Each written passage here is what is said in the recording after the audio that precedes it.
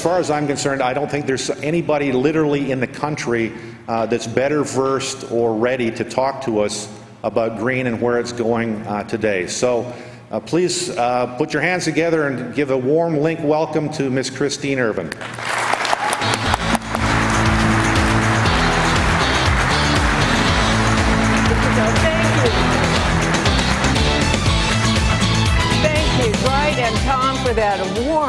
Warm, welcome. You've made me so feel so much at home. I think two other factors have contributed to this emergence of green buildings so quickly. Um, and in an, in an industry that is traditionally very slow to change. One was the LEED green building rating system. How many of you are familiar with it? Quite, a, I'd say about a third of you, maybe. And I'll spend a few minutes on it later. Um, but it is the most powerful market transformation tool I've seen for bringing all this together in a very market savvy way that uh, people could rally around. And the second was leaders, personal and private sector leaders. When we launched LEED uh, in spring of 2000, the administrator for the GSA uh, stood up, world's largest property manager. He came from Silicon Valley, and he said, all new GSA buildings over a certain square footage are going to be LEED, not just certified, but the next layer up, silver. You can imagine the ripple of confidence that that sent through the marketplace and the almost instant credibility that we had. But there are leaders in the private sector as well that stood out early, like Hines Real Estate Development, Johnson Control uh, in the uh, energy space, uh, Herman Miller. That built the critical mass of confidence that we needed. But enough talking. Let's, let's look at a few of these buildings to give you a sense of the excitement underway. Uh, Sidwell Friends Middle School, top level LEED platinum, 61% less electricity used.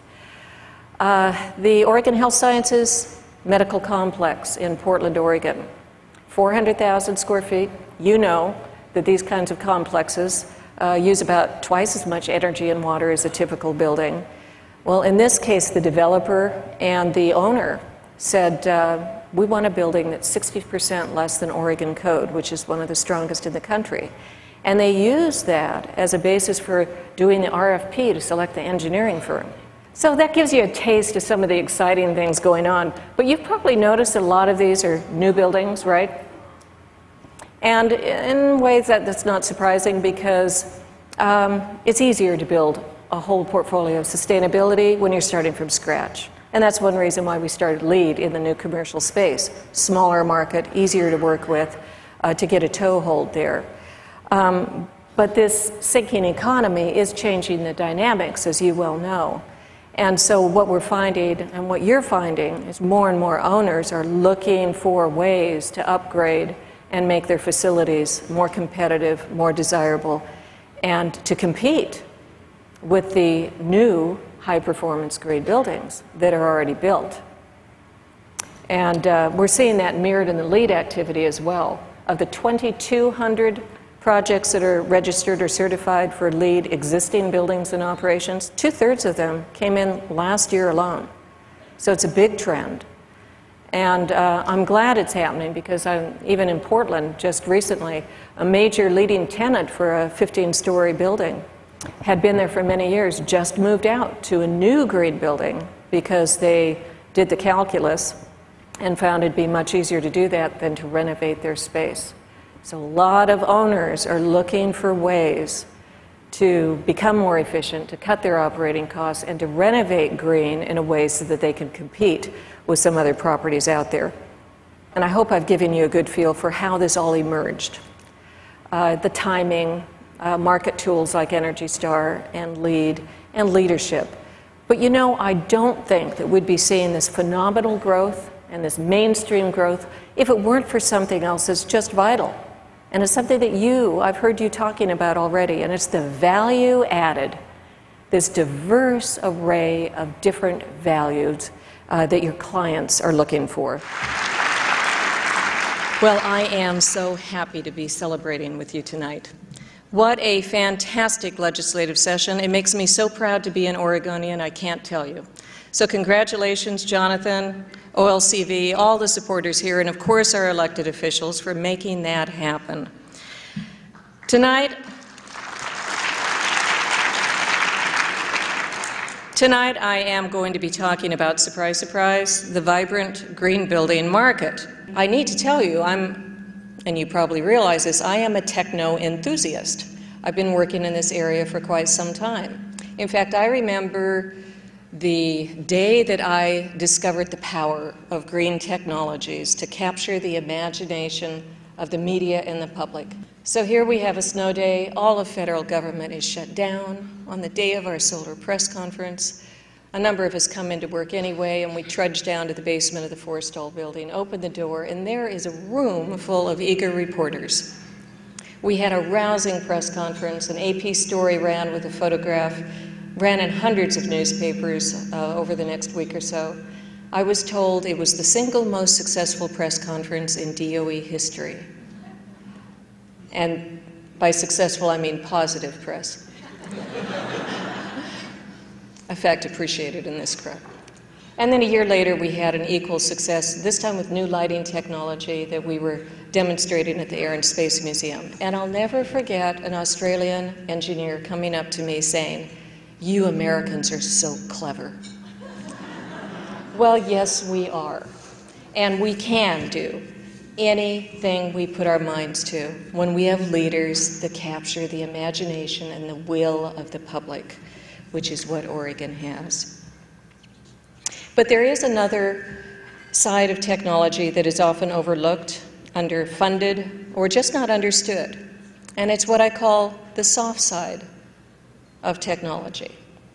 And by that I mean private market signals, like energy prices, carbon prices. There's a concept that can make all the difference between a laboratory curiosity and something that really transforms the market. Or maybe it's the predictability of those signals. Classic example the renewable energy tax credits. I remember when Jeffrey Immelt, the CEO for GE, told Congress so clearly two years ago nothing chills private investment in these technologies more than uncertainty over whether or not these tax credits are going to continue. Another example of self technology is um, syncing the technology with how humans behave. I mean, think of how long we endured the VCR remote until TiVo technologies came along. Well, you know, in the climate change arena, think how much we've learned about the effective communication of climate change just in the last two years. And then consider that less than one half of 1% of the entire federal climate change budget is devoted to the behavioral sciences. It's not a coincidence. So, in fact, public policy, the work of many, many, many people here tonight, plays a huge role in shaping the rules of the road for the private market that has a huge bearing on technology.